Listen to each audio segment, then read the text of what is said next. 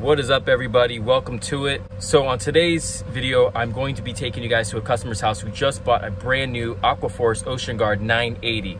This thing is unbelievable. I think it's the biggest I think it's the biggest tank that Ocean Guard makes. Uh, I'm really excited to share with you some of my thoughts on the Ocean Guard. But before we do that, I got something really cool. So check this out. We got ourselves a Cuban hogfish that is gonna be going into a aquarium right now. Now he's gone through his quarantine. We had him in chloroquine phosphate for two weeks, plus he's been treated uh, with Prazi for any type of flatworms or anything like that. And he's doing really, really well. I'm really excited to get him into this aquarium. So let's go ahead, get him acclimated, and then I'll show you guys the rest of the fish that are in the tank. And here we are at the customer's house. We are inside. Now this tank we just recently restarted because there was a lot of issues. We completely restarted it and I couldn't be happier with the progress that we've made so far. All the fish are doing amazing. So you got some wrasse, cleaner wrasse, you got uh, big old clownfish right there, a bunch of different anthias, tangs. We got like everything in this aquarium. Swallowtail uh, angelfish, um, yeah, sunburst uh, anthias, uh, there's just a, a, a, nice variety of fish in here. Um, now the tank is fairly uh, a bit new, so it's still kind of going through uh, a, bit of an ugly stage, but I'm really happy with the way the corals have responded so far. There is a, we just got over the brown algae, but we are starting to get a little bit of green algae, so we're trying to stay ahead of that, but uh, there's a female triggerfish right there, uh, blue jaw triggerfish, a female. There's also a male in here somewhere. Uh, there's a pair of them and little firefish, blue hippo tang.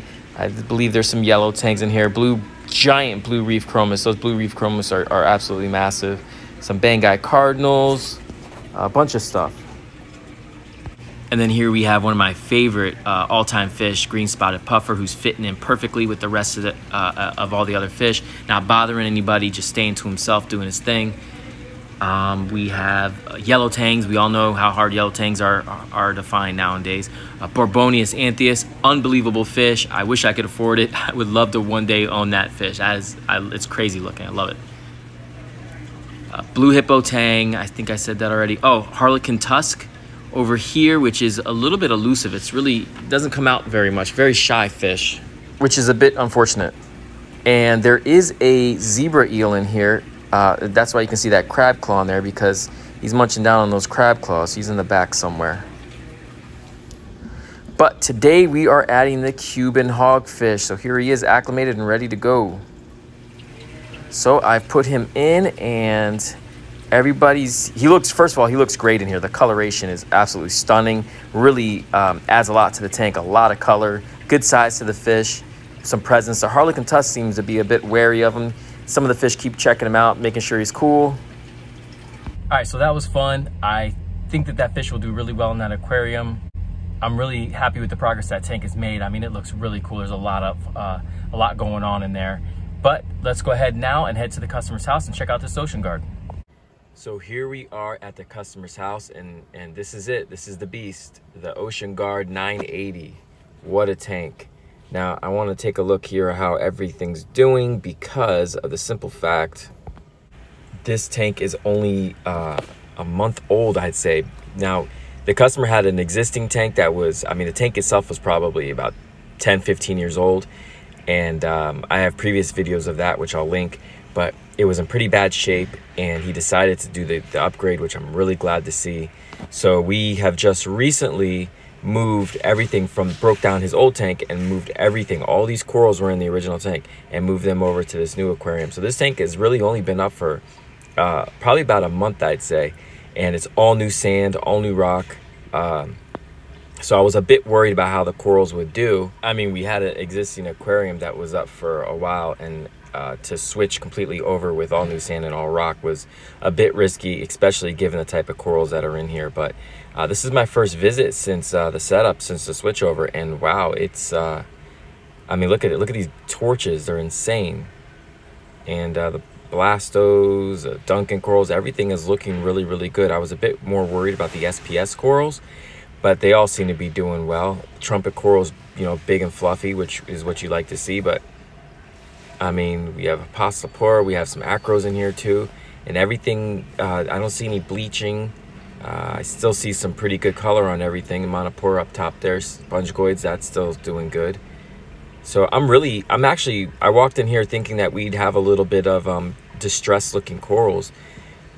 But the, the, the tank move went amazing and I'm kind of blown away by that, how well things are doing. Now there's a little bit of diatoms in the sand, a little bit of brown algae there.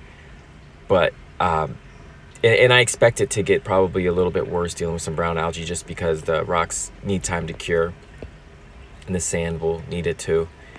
But uh, the progression that we're making right now is pretty impressive.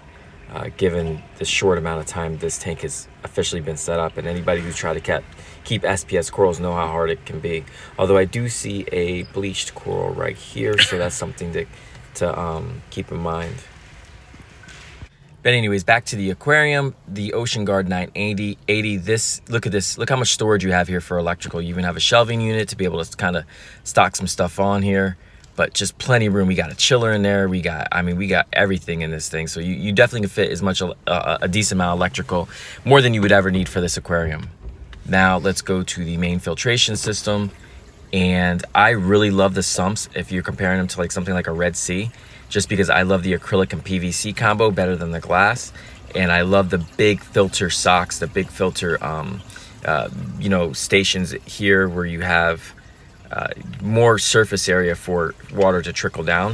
You have a nice big area for you can keep a really large protein skimmer although we are getting micro bubbles because we don't have this sponge that's to slide in there to um, filter them out before they get into the return pump but that's uh, we just a matter of ordering a sponge that should handle the micro bubbles you have tons of room in here. And then, you know, we added a UV sterilizer, which was a bit tricky. They're not really designed for that. And then you have a really giant reserve uh, freshwater reservoir right there that's 15 gallons, which is really nice to have. One of the other things I love about these ocean guards are these front panels. Those can come off. So right now those are charcoal, but if you say you paint your walls to a different color and you want uh, different panels on there for the stand, those snap off and you can order, um, they have more varieties of colors. They have like off-white, white, black, uh, different types of shades of gray so you can match your walls a little bit better. And I love how the stand is already put together. You don't have to put it together like the Red Sea tanks. Um, all in all, this uh, aquarium is really well built. Uh, it feels sturdy, good quality, and uh, the glass is ultra clear. But the Aquaforest tanks, definitely 10 out of 10. Highly recommend. Now, the other thing I need you guys help with is we have this little tank up in uh, his son's room, and it's kind of boring, not much going on. We just recently got it uh, in good condition. There's a lot of cyanobacteria going on, so it's doing really, really well. It's really healthy, and I need you guys uh, to you know, kind of chime in and what would look good in here? What should we put in here? I want to keep it simple just because I want it to be a low maintenance tank.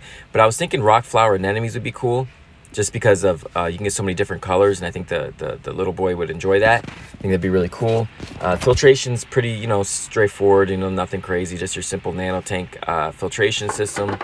We got a lid on here so we can we can add some more fish, especially, you know, we have to worry about fish jumping out or anything like that. But uh, it's doing really well. All right, that's it for me, guys. Thank you so much for watching. I will see you on the next one.